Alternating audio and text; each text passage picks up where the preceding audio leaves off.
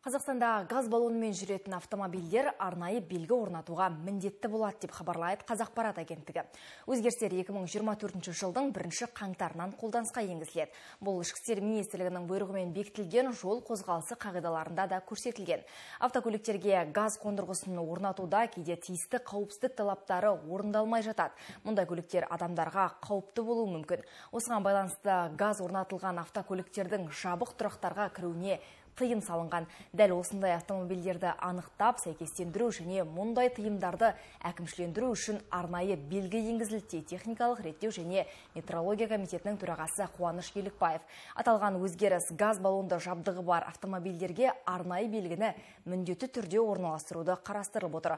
Бұл таңбаға газ деген жазуы мен леп белгісі бар сары түсті тең бүйірлі үшбұрыш бейнеленген.